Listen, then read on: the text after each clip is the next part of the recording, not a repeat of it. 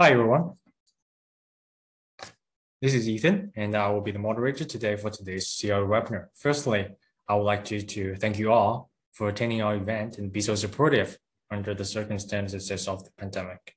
And then I have to say that it's an honor to invite Colin Xu, the Overseas Marketing Director of the GW Laser Technology, to deliver this presentation about the new ecology of laser industry. They are called 976 Laser Solutions. And this presentation is about 25 minutes. And then we will move on to the Q&A sections, which is about five minutes. So please feel free to submit your question down below. Without further ado, please welcome Colin to, del to deliver this presentation.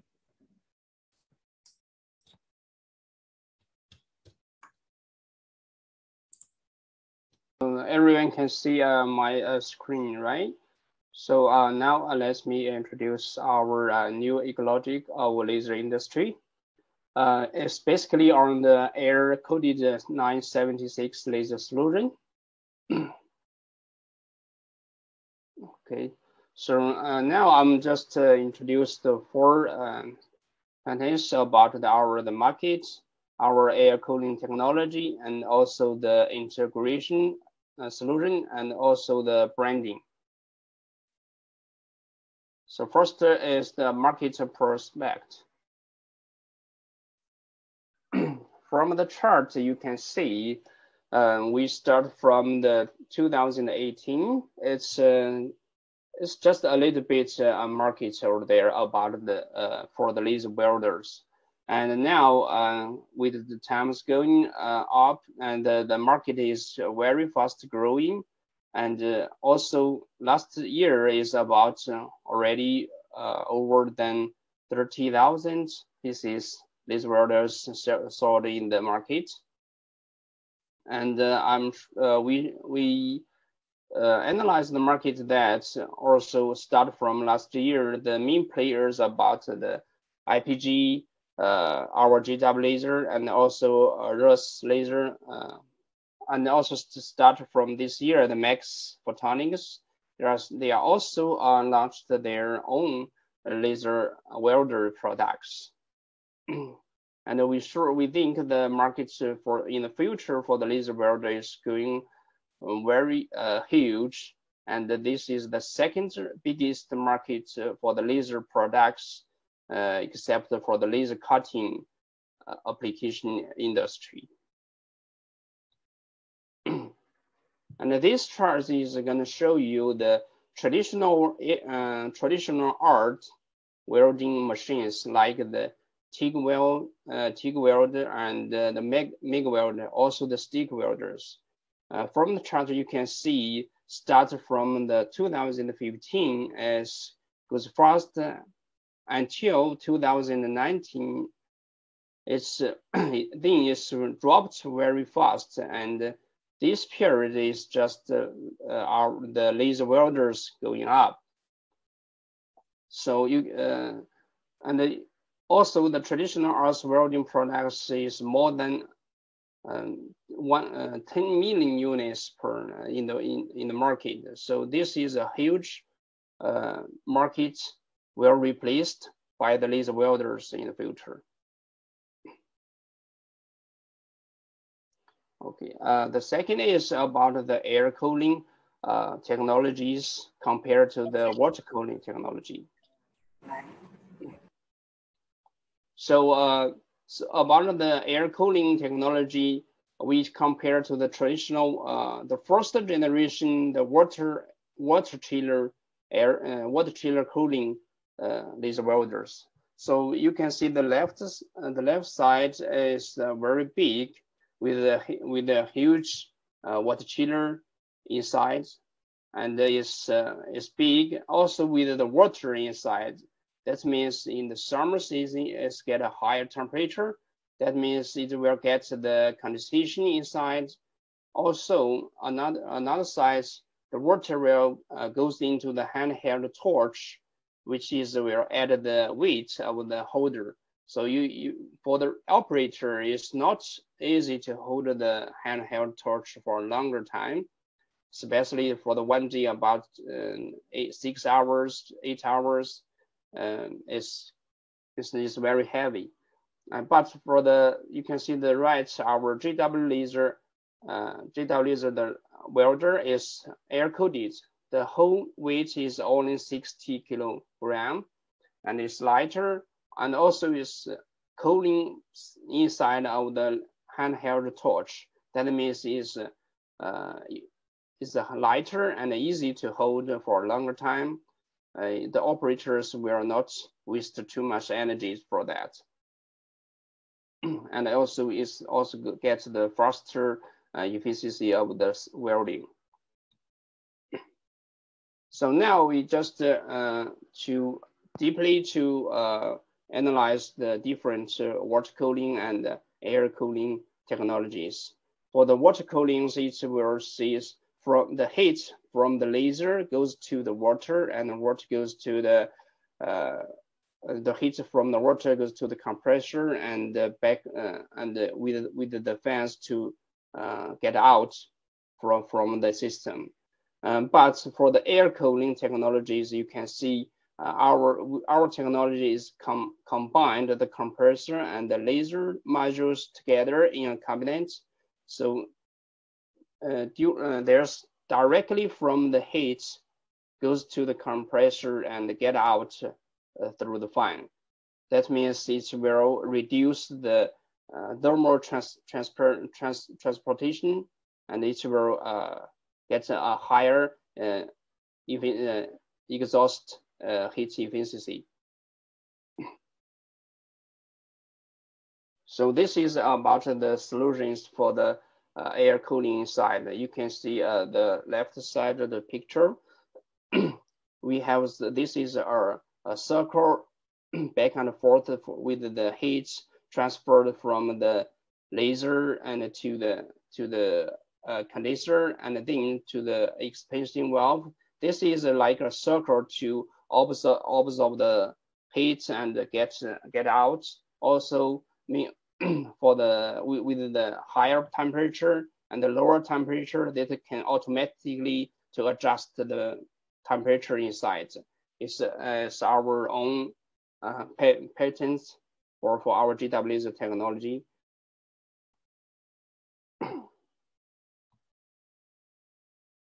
and uh, also this is the Raycus, Raycus laser, uh, their uh, heat uh, thermal precipitation uh, technology. is directly use the fan to uh, exhaust, uh, to take out the, the heat from the system. So, but this is another, how to say, disadvantage. Like if the environment temperature is, is higher, is much higher, like the summer season, probably it gets overheat inside because the fans only cannot uh, enough to uh, get the heat out. So probably it's gonna get some uh, higher temperature falls or errors. Uh, but for most of the time, it's okay. Uh, it can be used. And also this is the IPGs. Uh, some some uh, some uh, companies analyze the IPGs inside and share the the technology the technologies to us. So we can see from the uh, right side of the pictures, it they has the uh, they has the liquids inside to get the uh, get the heat goes through the the condenser and then through the fans come out. So, but it's it is also better than the fan fan uh, cooling, but uh, also uh, it's not uh, good as our compressor technology. So they are so this is the the IPG's technology.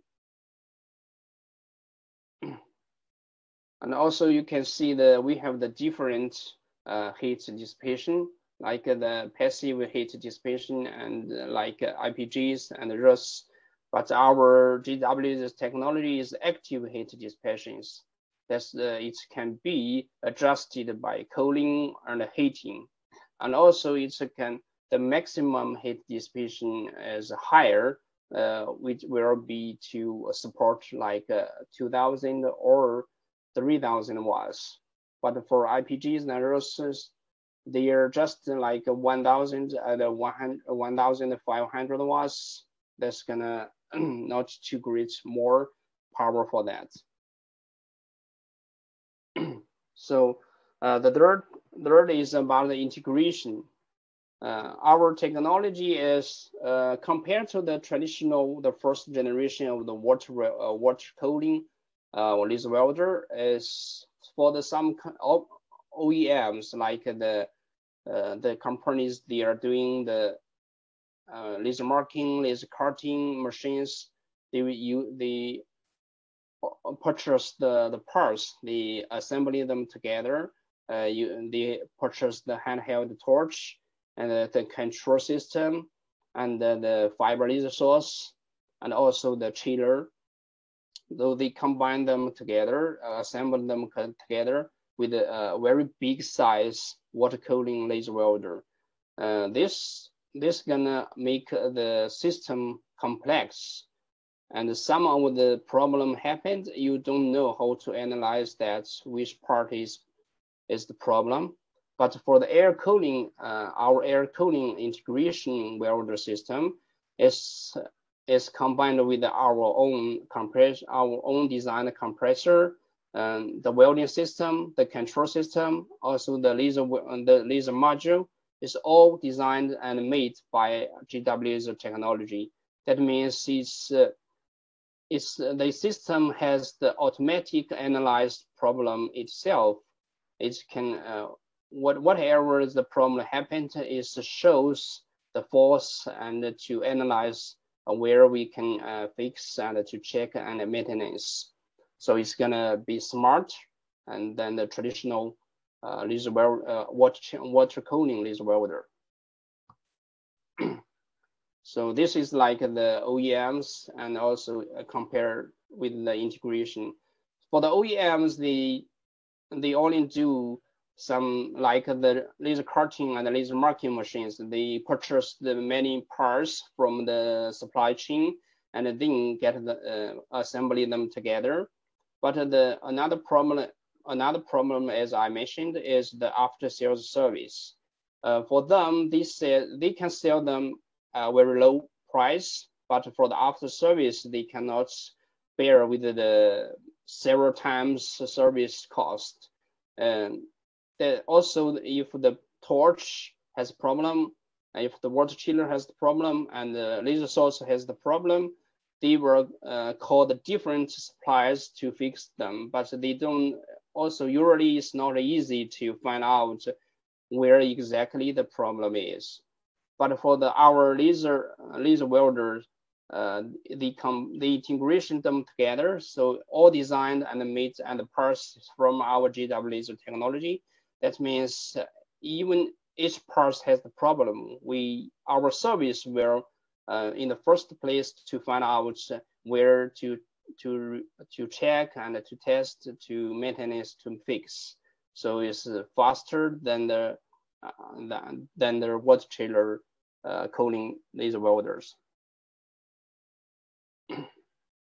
also the branding, as as we know, the OEMs they just take uh, their brands, but the the torch uh, maybe from from the SUP, from the W uh, WSSX, from other suppliers, and the chiller from Tongfei or Hanli or uh, TNX, some TS, something like that.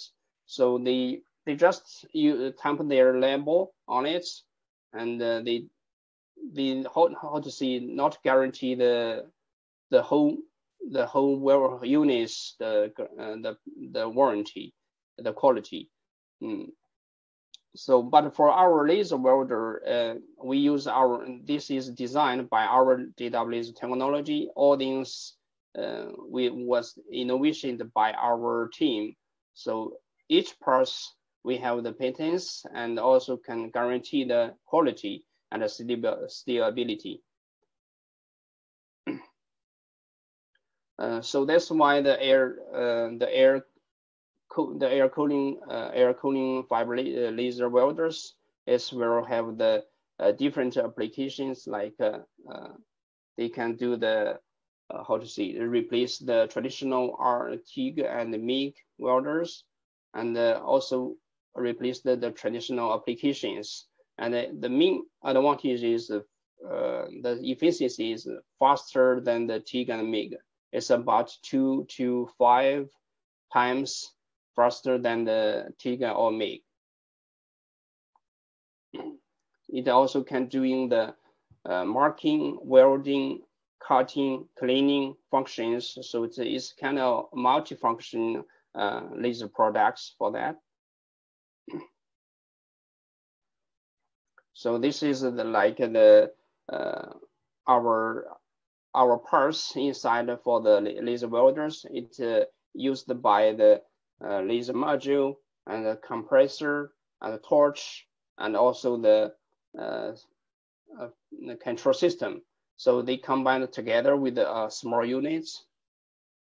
So our, our especially advantage is about our uh, 7976 nanometer pump technology because the the electrical optical um, efficiency, corrosion efficiency is up to 42%. That means it's will save the energy and the lower power consumption. Uh, it will not like the water chiller is uh, like a double size, uh, double uh, power consumption than, than that.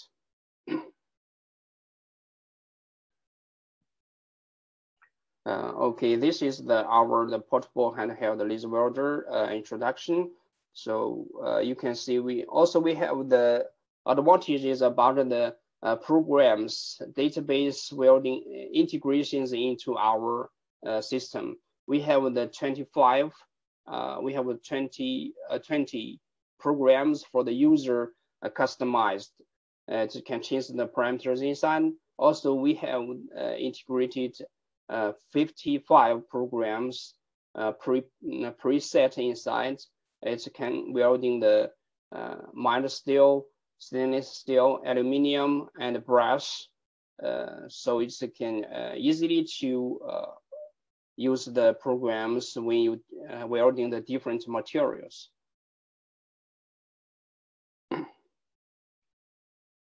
So air, uh, here is the, our air cooled laser source technology, some of uh, shares for you. Uh, this is, first one is also about the ABR technology.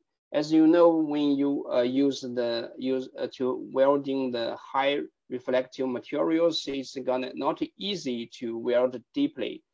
And this, uh, our ABR technologies is can easy to cut or welding the high reflective materials like the uh, aluminum, uh, even the brass and, and, the copper. So it's, uh, it's our own design. And also you, you know, the efficiency is up to the 14.2 uh, percent. It's gonna save the uh, electrical uh, consumption. And also its size is only six kilograms. It's also transferred by the car or you some uh, only one person maybe can hold it uh, to somewhere else. And also there's a low power. It's used the single phase input and uh, it's very simple. It's integrated together and uh, flex, flexible, it means it can use the laser welder to cut, uh, welding and cleaning without to change many uh, different uh, parts. Also, we have the triple safety protection, like uh, use the e-stop and a key switch and uh, clamps in, interlock by the by the torch. Also, we have the uh, five like five uh, different uh, mode operations. We have the pose and the CW, PWM, and timing mode. It can uh, use different precision welding programs. Uh, okay, that's all. Thank you, everyone. Uh, and oh, also, yeah. if you, yeah, if uh, anyone has the questions, uh, is welcome to ask. So I'm uh, glad to answer that. Sure, sure, no problem. And uh, let me take back the, the screen real quick. Please hold on, call. Yeah. I'm going to do this one. So yeah, the next is our Q&A section. And uh, thank you very, first of all, thank you very much for your insights, Colin. And uh, I tried to check the check the backstage and here is the here's a few questions and uh, let me ask you the first one okay so what is the market size of the laser welder is actually yeah actually as you can see the the first page as I showed you uh, the the growth of the laser welders start from the 2015 until even yeah and even until now is about just uh, five or uh, uh, five or six years, it goes very fast. So okay. from the market analyzing that, the size is around uh, until now is about 500 million US dollars, and also it gets uh, like six percent uh, increased per year right now. Yeah. Okay. Got it. And uh, about the second question, and uh, you did mention about what the laser welder can do and what exactly what exactly uh, should we understand this? So, so it can cleaning or it can it can welding uh, or what what is the what does it yes yes uh, as you know some some uh, some of them may be already used or seen that the, the laser welders do the do the welding uh, mm -hmm. this is the basic functions mm -hmm. and also for the uh, as I said, for the cutting and uh, cleaning, the yeah. cutting we have the a special designed uh, cutting nozzle. It's mm -hmm. only to replace the nozzle. it's to adjust some parameters in the system. It can -huh. use like the handheld cutter. -huh. so that means it can cut the uh, thin uh, material sheet like uh, three millimeter and less. So okay. it's yeah sometimes Another, another function is the cleaning. Cleaning, there's two functions.